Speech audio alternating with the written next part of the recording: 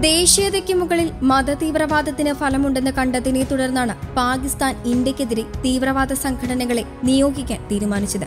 സൈന്യത്തിന്റെ പിന്തുണയാൽ നടത്തുന്ന ഈ നിഴൽ യുദ്ധത്തിനു വേണ്ടി യുവാക്കളെ വഴിതെറ്റിക്കുന്നതിനായി നിരവധി തീവ്രവാദ സംഘടനകളും പാക് മണ്ണിൽ ആരംഭിച്ചു. എന്നാൽ ഇന്ന് തീവ്രവാദികളെ കൊണ്ട് പൊറുതി മുട്ടിയിരിക്കുകയാണ് പാകിസ്ഥാൻ. സ്വന്തം നാട്ടിൽ ബോംബ് സ്ഫോടനവും അരാജകത്വവും നിറയ്ക്കുന്നതിൽ തൽപരരായ ഭീകരവാദികളുടെ എണ്ണം കൂടിയതാണ് ഇതിനുള്ള പ്രധാന കാരണം. രാജ്യത്ത് സ്ഫോടനങ്ങൾ പതിവായതിന്റെ കാരണത്തിലേക്ക് വെളിച്ചം വീശുന്ന യു എസ് റിപ്പോർട്ട് പുറത്തു വന്നിരിക്കുകയാണ്. U S congressional research service റിപ്പോർട്ടിൽ പാകിസ്ഥാനിൽ ഇപ്പോൾ പന്ത്രണ്ട് തീവ്രവാദ സംഘടനകൾ പ്രവർത്തിക്കുന്നുവെന്നാണ് കണക്കാക്കുന്നത്. ഇതിൽ അഞ്ചെണ്ണമാണ് ഇന്ത്യയെ ലക്ഷ്യമാക്കി രൂപീകരിച്ചത്. കാശ്മീരിനെ ഇന്ത്യയിൽ നിന്നും അടർത്തി മാറ്റുക എന്നതായിരുന്നു പ്രധാന ലക്ഷ്യം. ലഷ്കർ ഇ ത്വയ്ബ ജെയ്ഷെ ഇ മുഹമ്മദ് എന്നീ ഭീകര സംഘടനകളാണ് ഇതിൽ പ്രധാനപ്പെട്ടവ.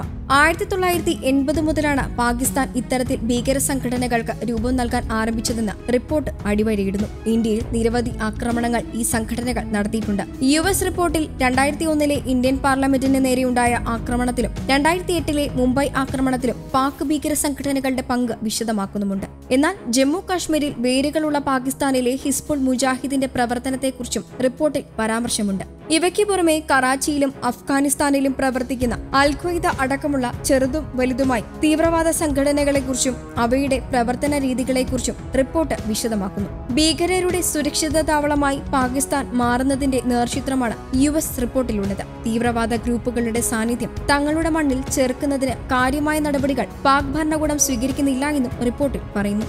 International desk കീലകൗമുദി